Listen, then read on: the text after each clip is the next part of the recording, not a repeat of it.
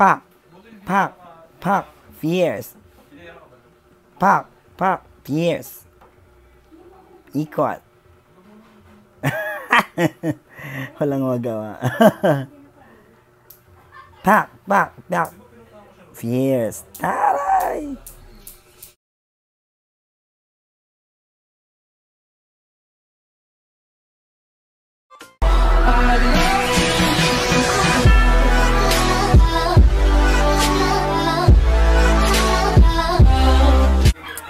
Hey mga kagat, ito na naman si Junel.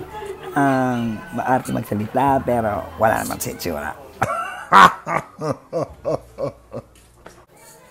Please stay tuned on this very important and very unforgettable, unforgettable moment of my life about my phone.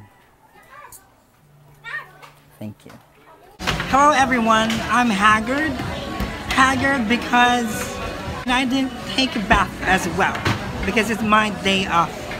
And you know, you get tired at times on taking a bath every day because you're going to work. And unfortunately, I lost my phone.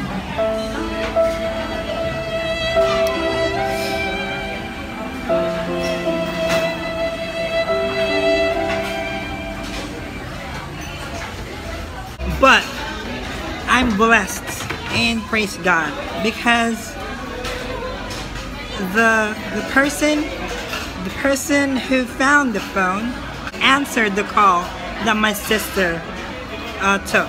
Like while I was like hurrying, um, hurrying up, driver driving all around Kalayaan Road to like find the phone, and that's crazy. I don't know what to do. Um, but luckily, I'm just lucky and very thankful that the person that found it, shout out to you, Dominic Villacampa, for really being so kind enough to like answer the call and giving me the giving me directions for me to be able to go to your house and thank you. I was happy.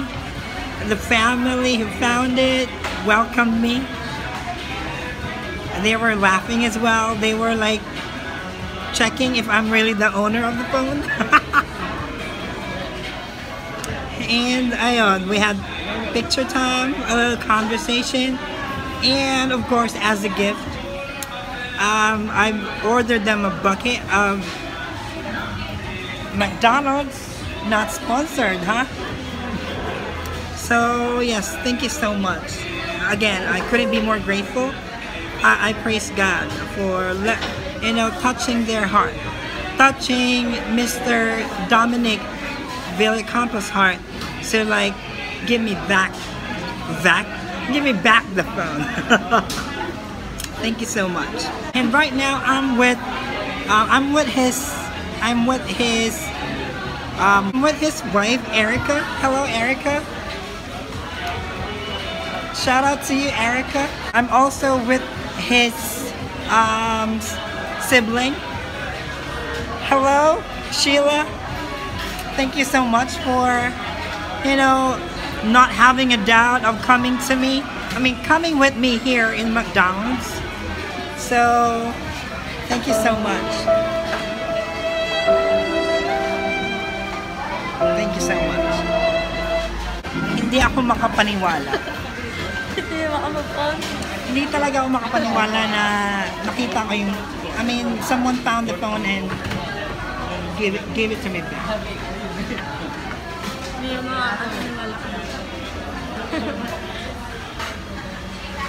You were saying something earlier.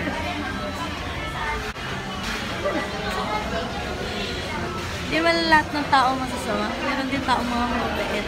Kaya lang, talagang masama ka, masama ka talaga. Very inspiring. Malay mo mag-trending to, te. Nandito ka, di ba? Malay mo i-share to ng mga ka-office mate ko. O di sikat na, di ba? Kain na tayo! So we're eating na! Mukbang! Biglang nag-mukbang! McDonald's! Thank you so much! Hi, Sheila! Hello, update lang! Malapit na kami matapos para makauwi na sila and I hope they will be able to uh, go home safely. I offered to send them back home but they um, declined it because they were thinking about me being lost if I will go back there and then you know send them there and then go back home. So imagine how how they are thoughtful and they're so kind to think about my safety. So really, imagine how this family is a very, very, very kind. Thank you so much, really.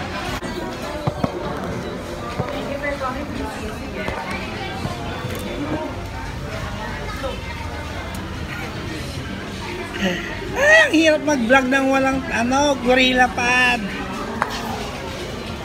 So Erica, what can you say about your brother being so kind, um, giving me back my phone?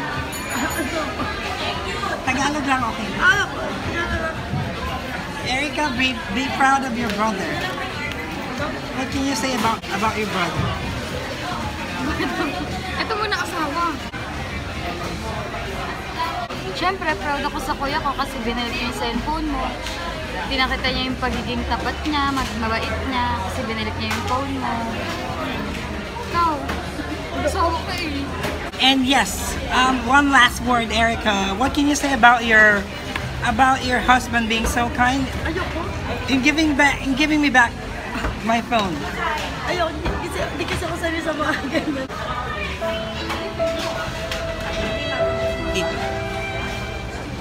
Proud ako sa'yo kasi mabait ka kahit gusto gusto mo na magkaroon ng cellphone, binalik mo pa rin kung kanino talaga itong cellphone na to. Kaya, you're the best.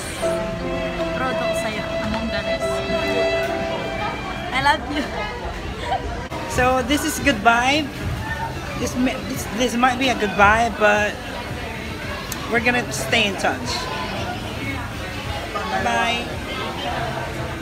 Nakita niya sa atin mismo, nalaglag. Tapos wala na. Tapos siyempre, stop tayo. Tapos nakita niya ulit ako. Siyempre, hindi naman niya ako makikilala. Eh. Nakita niya sa atin nalaglag. Tapos ako mismo dun sa, ano, sa motor. Natatawa ko sa sarili ko. Wala! Sobrang putla mo. Tapos, ano, tawag dito. No, tinatawa ko. Binaba, binaba ulit pagkababa. Ano, pinatay niya na yung phone. Napatay yung phone, di ba? Oh, siguro parang ano yun. Pinatay niya yung phone at pag-iisipan niya kung babalik niya. Eh nakita niya siguro ako. Ang layo din ang nilakad ko, pabalik ka. Buti nga, ang hindi nakakuha, yung nasa may katabi ko. May dala siyang pang ganon, tin- tinutulak-tulak niya. Tulak niya. Tsaka hindi naman nakakita siguro sa kanya na nakita niya yun. Sa maraming tao yun nakita. Parang feeling ko dun sa may mga aso-aso yun ng mga ano, nakita siya. Siyempre, nakita din ako. Nahihiya yun na hindi niya ibalik. Nakita niya ako eh. Tapos, ano, nakita din siguro, hindi lang siya yung nakakita na nakakita siya. hindi siya na hindi siya nakaki hindi niya hindi niya, niya gustong ibalik kasi pinatay pinatay niya yung phone eh. Pero hindi siya hindi lang siya yung nakakita na nakuha niya yun. Marami nakakita na nakuha niya tapos kilala siya. Syempre ibabalik niya yun. Ma-i-issue siya. Kung siya lang mag-isa, hindi niya ibabalik yun. Namutla ba talaga ako nun? Putlang-putla ka, sobrang putlang-putla, tapos kabadong-kabado ka, grabe. Kaya ang tawag. E nandun na ako sa van, nakasakay na ako. E di, binalita ako na. Kala ko yung Gino, ah, nakawawa talaga si ano, ate Kuya Gino Will. Nangi, nangaawa talaga ako sa'yo, tapos mamaya yung dat- stop na, sabi, tawagan ko nga ulit to. Kala, ring, puto. Sinagot, oy, sabi niya gano'n, oy, dito sa may Santa Isabel.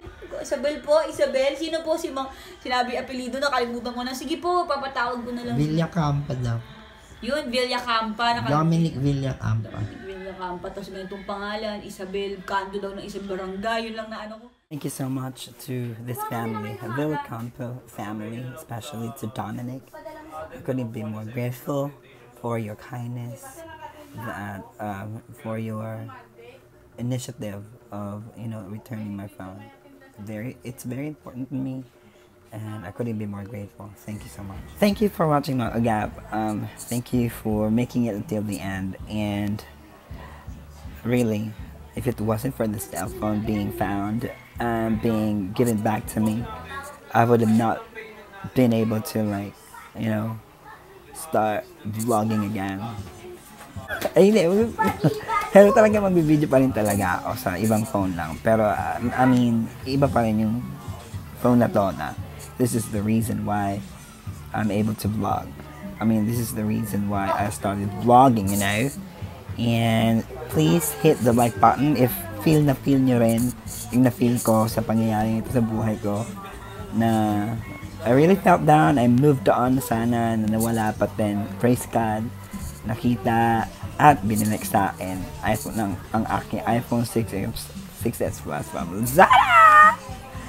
And please push the notification bell so that you can be updated on my next upload. Leave a comment kung, you know, kung na, na, na-touch ka ba sa family na nagbigay sa akin.